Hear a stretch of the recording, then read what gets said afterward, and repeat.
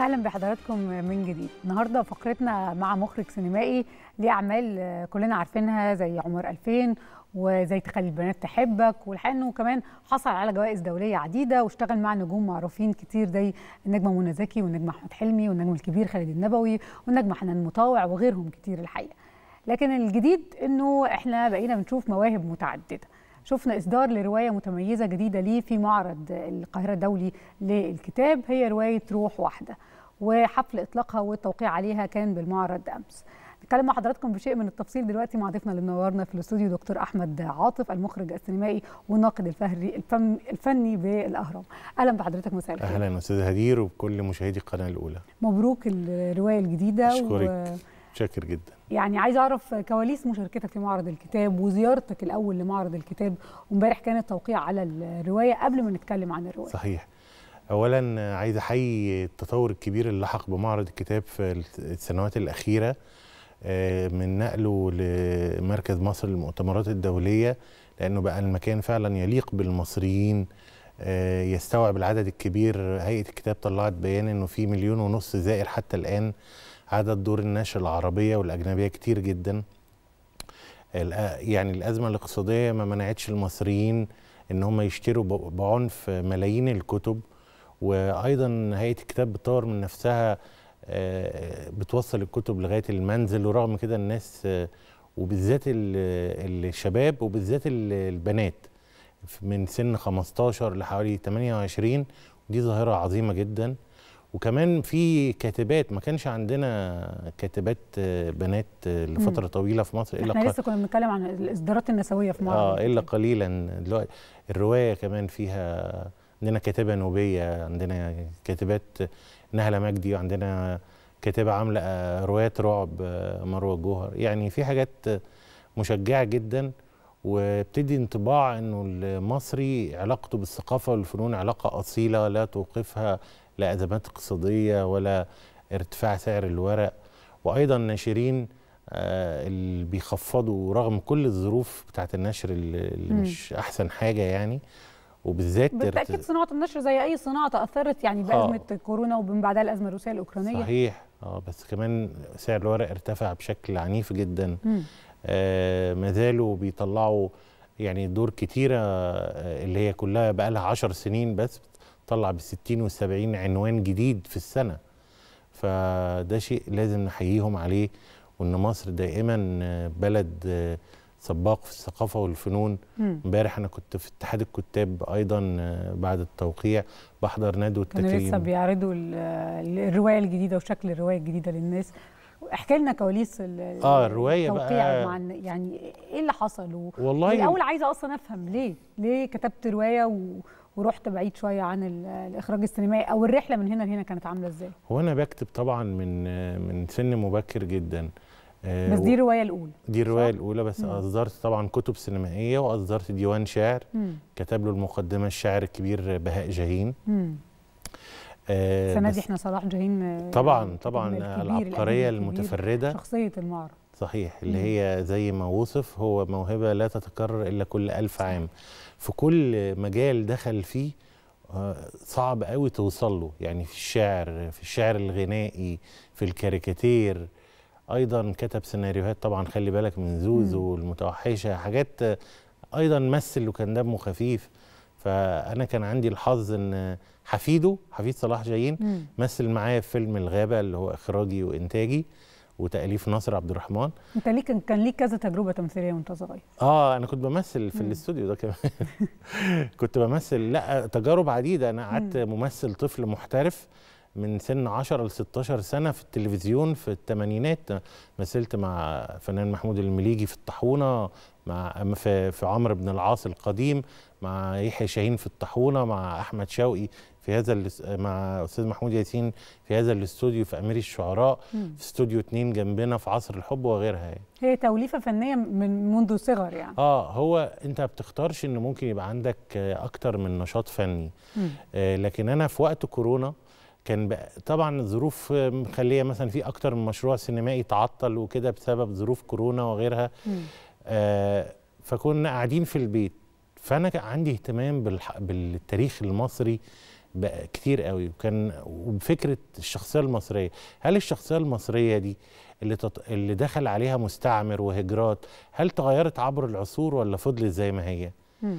فالموضوع ده خدني و- وجات لي فكرة الرواية ان, إن أنا عايز أتكلم عن شخصية مصرية واحدة بتتجسد في كذا عصر في, في عصر الروم الروماني مصر الرومانية ورحلة الإسكندر الأكبر في مصر ومصر العثمانية ومصر القديمة الحضاره الفرعونية وأيضا العصر الحديث في 1855 وهل الش... وبسأل نفسي بقى تساؤلات عن هل الشخصية المصرية ثابتة ولا اتغيرت؟ وأيضا كان عندي روح واحدة بتتكلم عن ملامح اجتماعية للشخصية المصرية أم ملامح سياسية أم ملامح لا ملامح روحية أكتر وملامح نقدر نقول نفسية. مم. آه، مش آه، طبعا القصص فيها أحداث مختلفة يعني. آه، و- يعني كل قصة فيها دراما وأحداث و...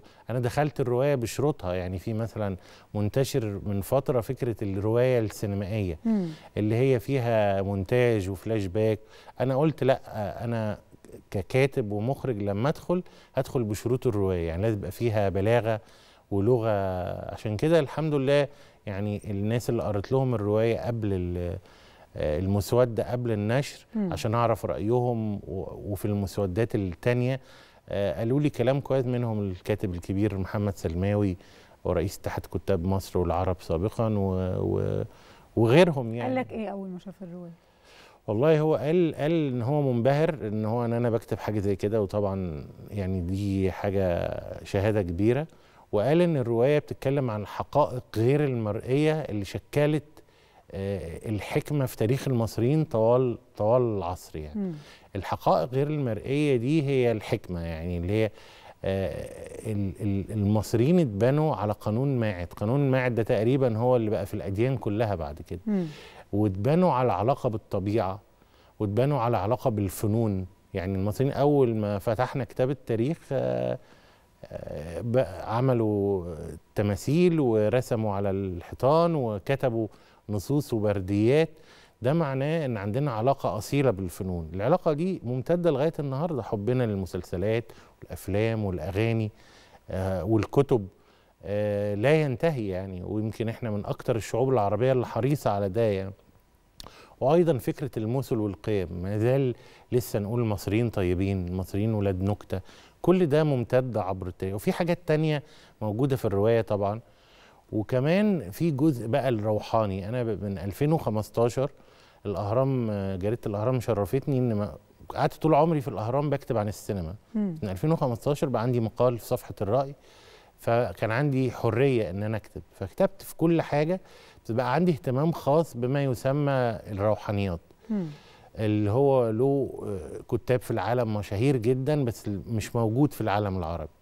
والروحانيات مقصود بيها كل ما هو غير مادي في حياتنا واتصالنا بالخالق واتصالنا بال بس الجزء اللا ديني يعني مش ال- مش. يعني واتصالنا بالطبيعة والحيوانات و... وإن إحنا بنهتم ب... ب... والأسئلة الوجودية الكتير اللي ممكن بتكون جوانا بس لا بس آه الحيرة طبعا مهمة والأسئلة مهمة بس الروحانيات بتوريك طرق إنك تتصالح مع نفسك والعالم مم. والحقيقة إحنا بنهتم بحياتنا المادية زي شغلنا و... لكن بننسى إنه أهم شيء عندنا هو الروح اللي باقي بعد الموت واللي هو آه هو اللي كفيل يريحنا. وبالتالي ده له حاجات آه، بت بت يعني غذاء يعني آه، أو فيتامينات آه، الفيتامينات دي قايمة على الحب المطلق مثلا الحب الغير مشروط لأن ال- الدنيا أو الطبيعة بتدي الإنسان عطاء لا محدود. يعني سواء الزرع أو المية بتديك كل حاجة بدون ما تاخد حاجة في المقابل. فطبعا الإنسان ثبت علميا إن هو لما عمل الخير آه، أو الكراهية أو المرار بيخلي الناس تعيا وعمل الخير بيخلي الناس تبقى صحتها أحسن. فكل القيم دي من الحب المطلق وعلاقة مع الطبيعة وعلاقة مع الحيوانات و- والتسامح الكبير آه، كانت قيم و- ويعني يمكن نشرت 500 مقال من 2015 عن موضوعات مختلفة عن روحانيات ووصفت الرواية بقى من أديب جزائري اسمه الأخضر بن زهرة و وبين الدكتوره لمياء الساداتي دي دكتوراه في علوم اللغة من جامعة مارسيليا في فرنسا و بأن هي رواية نورانية أو روحانية يعني. النبرة اللي فيها وده برضو من الأجزاء اللي ممكن رحلة نفسية روحانية يعني بالظبط. آه. دي من الحاجات اللي ممكن تبقى موجودة عند المصريين نتيجة إن هم أوائل ناس سألوا عن علاقتهم بالسماء وعن علاقة الإنسان بالأرض. كان أو أو اول الأول خلى المصري القديم ال- الأرض هو الإله بتاعه وبعد كده الهواء وبعد كده الماء وبعد كده عمل حاجة اسمها التسوع. تسع آلهة وعين حاجة اسمها الثالوث وبعد كده وصل للإله الواحد مم.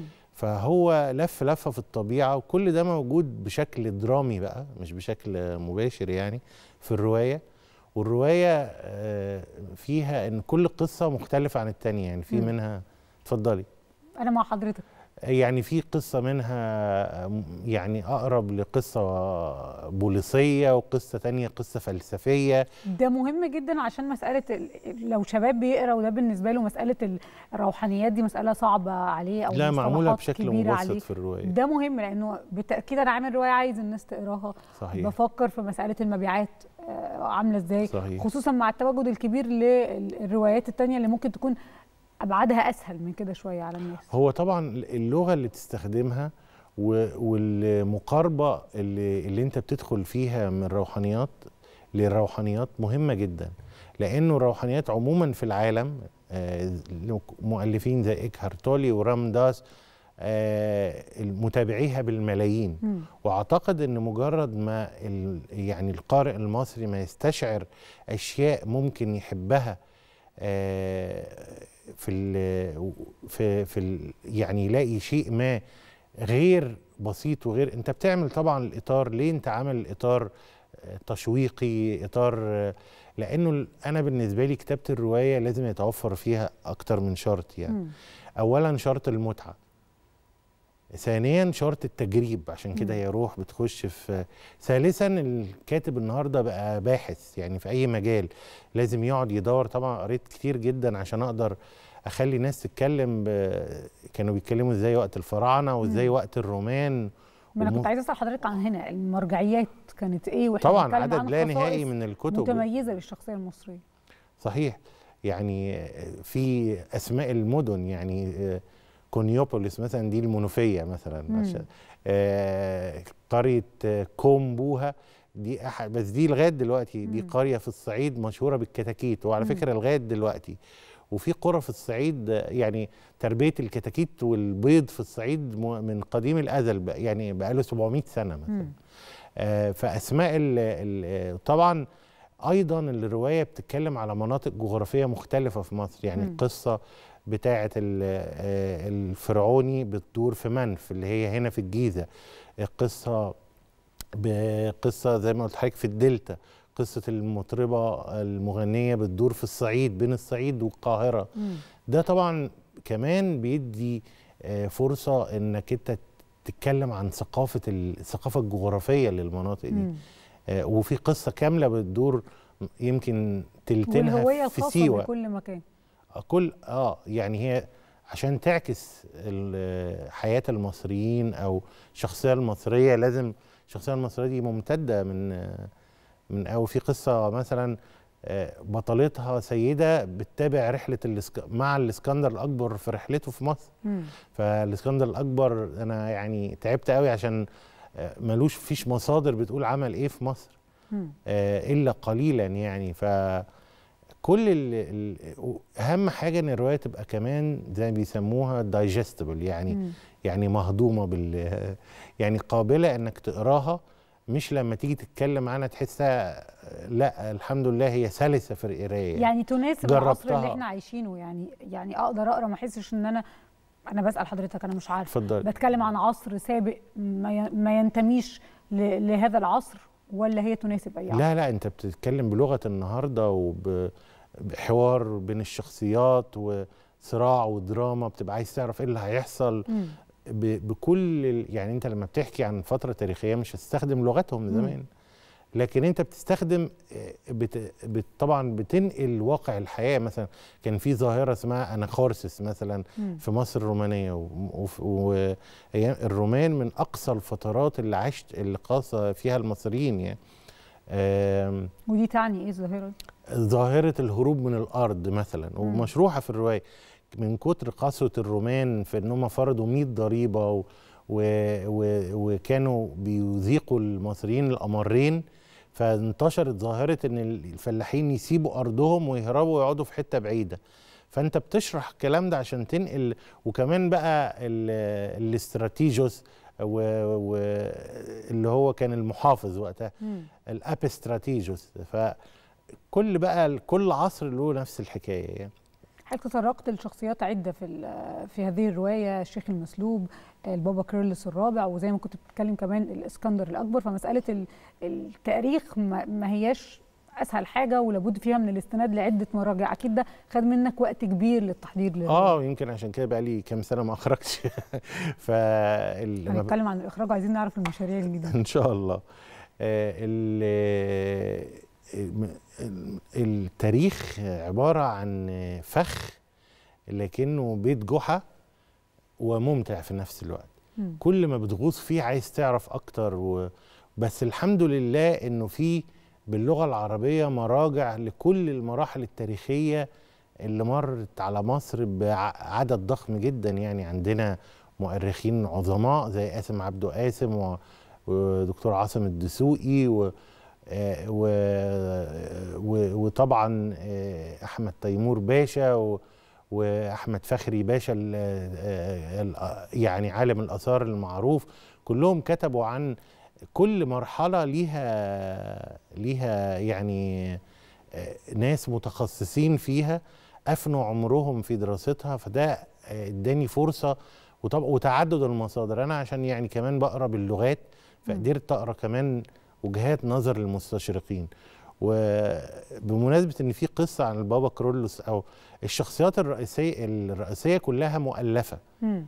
لكن الشخصيات الثانوية شخصيات من التاريخ زي الإسكندر الأكبر أو البابا كرولوس الرابع بابا كرولوس الرابع بابا الإصلاح ده شخصية مهمة جدا في التاريخ المسيحي مم. عندي واحد صديقي في الأهرام آه، آه، قريت له برضو الروايه اسمه أستاذ أشرف صادق هو ماسك أخبار الكاتدرائية في الأهرام كمان مم. فقريت له وهو صعيدي ما كنتش أعرف إنه صعيدي يعني فقصة بتدور في الصعيد جزء كبير منها وقال لي انت ده أنت مش مسيحي ولا صعيدي وكاتب بت... اللغة اللي. بين آه. فاتبسطت جدا لما قلت له كده دي أول امتحان نجحنا فيه أو يعني آم، أنت مش بس ب... ب... أنت بتستنطق شخصيات كانت عايشة في عصور تانية مم. ولازم كمان تستنطقها وتخليها تتكلم بلغة مفهومة النهارده مش بلغة وده صعبة يمكن بيحجز بيعكس حقائق كانت غير مرئية في هذه العصور صحيح وإنه مصر فيها أسرار كتير جدا لغاية دلوقتي وبيكتشفوا بس الأسرار العلمية أو الأثرية لكن مصر فيها أسرار روحانية أسرار ثقافية آه، لأن إحنا ما تخيلناش إيه حياة الرسام مثلا. اللي قعد يرسم على مقابر كان يومه عامل إزاي بياكل مم. إيه وبيشرب إيه وإيه الألوان وال آه، ولا تخيلنا ال- الشخصيه من شخصيات الرواية اللي هي مع البابا كرولوس مطربة آه، حافظة ترانيم آه، ضاعت خلال 2000 سنة. وجه البابا كرولوس آه، في وقت ما قال لازم الشعب المسيحي يغني بترانيمه مم. فقعد كلف واحد دي دي واقعة حقيقية آه اسمه آه تكلة آه المعلم تكلة مم. إنه يلف مصر كلها يجمع التراث القبطي المفقود. يعني هو مزج إزاي بتمزج ما بين دي كلها عناصر في الهوية المصرية وعناصر في البحث عن شخصية المصريين. عشان كده كمان ال- الروح بتحل مرة ست ومرة راجل لأن الروح دايما أسمى من مسألة ال ال ال يعني ال ال النوع ال آه، وبيخليك تسأل نفسك إيه الروح دي فعلا و-. وروح ما هي دي الأسئلة الوجودية اللي كنت بتكلم مع حضرتك هي عليها. أسئلة الوجوديه ممكن يبقى منها إحنا اتخلقنا ليه. ومسيرين ولا مخيرين لكن ال- الجزء الروحاني هو ال- اللي هو اللي فيه سمو وعلاقة بالحب الكامل لكل الدنيا ده مم. واللي انت محتاج توصل له عشان تستريح لأنه آه لو ما وصلتش لهذا الحب المطلق هتفضل مؤرق طول الوقت. آه بس أنهي حب؟ وهل أنت تقدر تمارس الحب مثلا مع حد آه عمل مشكلة معاك أو أو مع لو عييت ولا حاجة أو ولازم تتعلم إن الحب ده له طاقة زي الطاقه زي الطاقه الكهربائيه والحاجات دي اتقاست في العالم يعني. ويمكن ده اللي مؤخرا بقينا بنشوف يعني موضوع ال meditation وإنه الناس طبعا ده جزء كبير ده أكتر بيساعدنا صحيح آه. هو لازم يتمارس بشكل طقوسي زي ال meditation وبشكل حر بينك وبين نفسك. عشان لما تختلي بنفسك سواء آه، وانت قاعد لوحدك أو بالليل أو ما ما ما تقلبش على نفسك المواجع.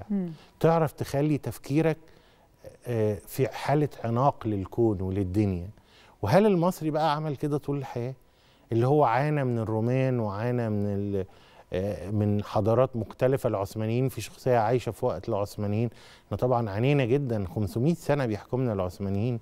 وبرضو يعني تعبونا جدا فالمصري ما عاش حياة سهلة في أجزاء كتيرة في تاريخه ورغم كده حافظ على آه، يعني روحه قبل روحه. وكينونته مم. وحافظ على الفن اللي بيعمله مم. يعني في كل عصر كان في فنون رهيبة جدا وفنون غير اللي غير اللي إحنا بنزورها في المتاحف زي فكرة الترانيم المفقودة دي. آه زي آه عندنا سير يعني سير كتيرة للأسف فقدت كانت الإذاعة المصرية بتعمل قصص السير دي سيف بن ذي يزن وغير السيرة الهلالية يعني مم. وأيوب ونعسة وغيرها آه إذا عندنا تراث وزي وبرضه دي ليها علاقة بإعادة الاكتشاف. زي ما أنا فجأة لقيت نفسي بكتب أدب. المصري طول عمره عنده مخزون لو أنت عملت له يعني زي كده العفريت والمصباح آه، هتلاقي بيطلع منه. عشان كده كان في شعراء شعبيين وتلقائيين وفي الأرياف والأقاليم وما. تعلموش يمكن. فالفن وأنا بلعب يعني مؤخرا اكتشفت إنه بعد دراسة كتيرة للفن و وسفر في العالم وفي جامعة جنوب كاليفورنيا في هوليوود اكتشفت إنه آه، إنك لازم توصل لمرحلة إنك إن الفن يبقى فيه درجة من درجات ال- اللعب. و... وإن أنت تبقى عامل زي تحافظ على روح الطفل في ممارستك للفن عشان كده أنا يمكن آه، آه، لقيت نفسي بكتب أدب وبرسم رغم إن أنا لما كنت طفل.